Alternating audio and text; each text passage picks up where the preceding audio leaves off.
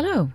In this video, I'm going to show you how to use the Safari browser to edit your HTML and CSS right in the browser so that you can design on the fly. And I'm going to start with a very simple index.html file that just has a title and an H1 heading with a CSS rule for that to set the font family to Arial. In the body, I've got that H1 heading and then a paragraph with an ID of main content. I've gone ahead and loaded that file into my page. So first I'm going to open up the developer console using the icon right here in my toolbar. And you can see that it opens into the Elements tab, showing me the DOM, the document object model that the browser creates when it loads the page. And I've got the sidebar open so that I can see both information about the nodes that I've got selected as well as the styles associated with elements in the page. So you can see that I've selected the heading. So I'm seeing the styles associated with that heading. And right down here is the style that I defined in the file in my CSS rule. You can see that here. And in, for the paragraph, I don't have any rules for the paragraph that I defined in the page, so there's no properties there yet. So one of the first things I wanted to show you that you can use to easily edit and test your JavaScript code in the page is this equals dollar sign zero. And this is a feature that was recently added to both Chrome and Safari. It looks a little bit different in Chrome. In Safari, it's equal dollar sign zero, and in Chrome, you'll see it shown as equal equal dollar sign zero. But the functionality is basically the same, and that is that when you select an element in the Elements tab, then that assigns that element to the variable dollar sign zero. And so what that means is if I jump over to the console or I jump down here to the quick console and type dollar sign zero, it shows me that the value of dollar sign zero is this heading that I've selected up here in the DOM. And if I select the paragraph, then I will see that dollar sign zero is now the paragraph.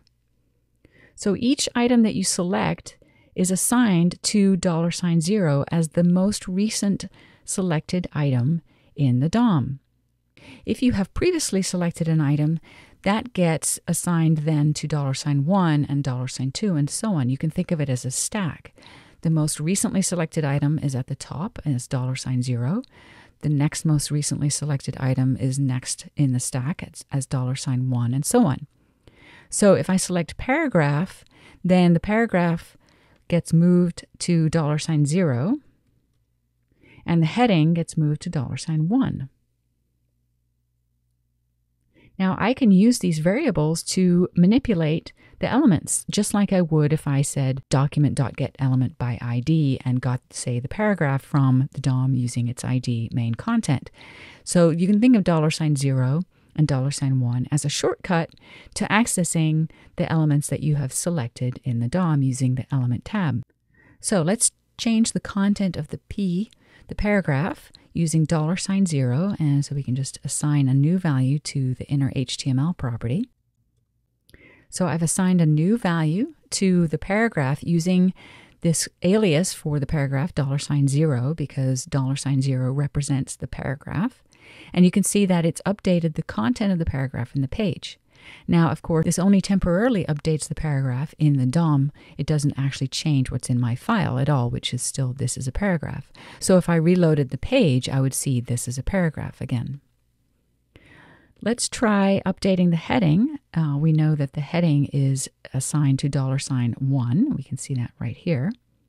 So if I say dollar sign one dot inner HTML equals I can change the value of the heading in the same way. So I'm going to reload the page, go back to what we originally had and get rid of this quick console. And you can see that the exact same thing works in the console. If I switch over to the console, now you can see that dollar sign zero contains the heading because that's the item I have selected over in the Elements tab. So using those quick variables or aliases is one way to make edits in your page without having to edit your file and reload the file. and it's a good way to quickly test out manipulating DOM elements on the fly. Another way that you can modify your page on the fly is to just change the content by double clicking on it and editing it. And you can do that in the Elements tab. So I can change the value of my heading just by double clicking on it, typing new content in, and hitting return.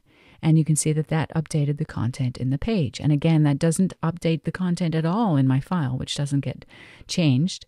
All it's doing is temporarily updating the content of the page. I can do that for the paragraph as well. And you can see that the content of the paragraph has been updated. So that's a quick and easy way to work on your page to manipulate the content while you're trying to figure out what your design is going to be without having to go back and edit your file. And if you want to save the changes that you've made, all you have to do is select the HTML element and copy that on the Mac doing uh, just a Command C. And then you can paste that into a text file and it will paste the new content into that file. So that way, if you want to keep the changes that you've made, you can do that easily. Let's take a quick look at how you can modify CSS on the fly as well.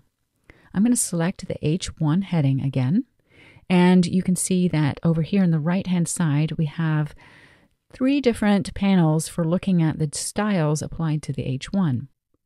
The style attribute, that would be set if we had added a style to the H1 heading in the element itself. So for instance, if I added color red here, and I can just click on that and type it in, you can see that that corresponds to a style attribute on the H1 heading. However, let's get rid of that. Let's look at the, the second section here, and that corresponds to the style that I've defined in the HTML file that I wrote and loaded into the page.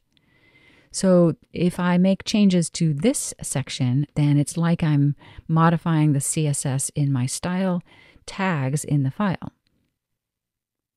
And so if I add color red here, then any H1 heading in the file is going to get the color red because this is going to apply to all H1 headings, unlike the style attribute here, which would apply to the selected H1 element. So you can see that I just clicked and typed in a new property, which assigned the color red for the H1 heading, and it immediately updated the style of the element in the page. So, again, this is a really great way of testing t- styles on the fly. This last section is the user agent style sheet, and this is defined by defaults in your browser, so I can't actually change those or edit add to them. But anything I can I do up here will, could potentially override those styles. Let's try another style. I'm going to try adding font weight normal. And you can see that that is overriding the default user agent style, which sets font weight to be bold. So by setting font weight to be normal in the style in here for all H1 headings, uh, I've updated the style of the heading in the page and overridden the font weight in the user agent style sheet. Now, a quick and easy way to test my changes and see if I really like them is you can toggle these on and off easily just by clicking this little blue checkbox. So that's a quick overview of how you can edit your content and your style directly in the browser to work on the design of your page before you're committed to a final design. Makes it easier to experiment with things and try different things right in the browser.